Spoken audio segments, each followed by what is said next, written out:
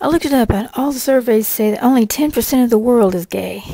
Yet the ones who rule the world and make our laws today impose their views upon us and tell us we have to bow down to the gays and their rights, that we don't have any rights anymore. This is not good. People message me all the time and say that our God is a murderer because I say that he's judging us.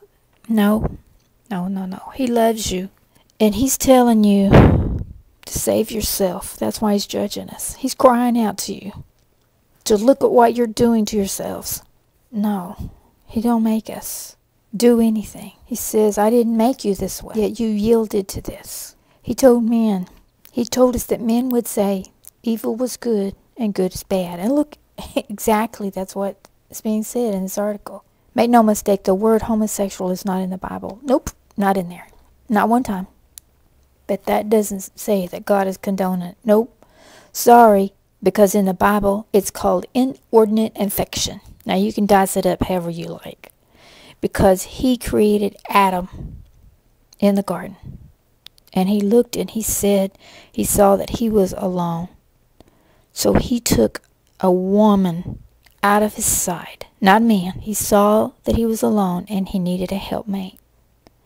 And she was a wombed man, and he called her Eve. People, we are vastly losing all of our freedoms. But while I still have the freedom of speech, I'm going to proclaim on the air that Jesus Christ is King of kings and Lord of lords to the world.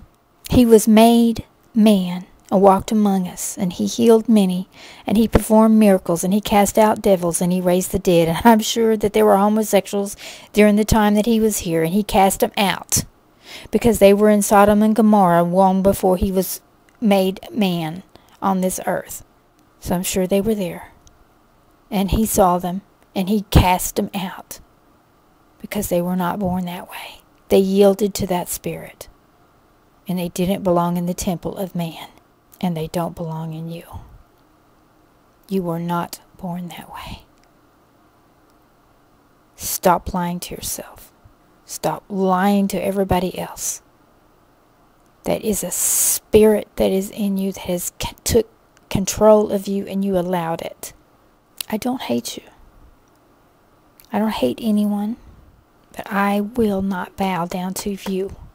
I bow down to no one but my Lord, my God and my King, ruler and maker of my heart.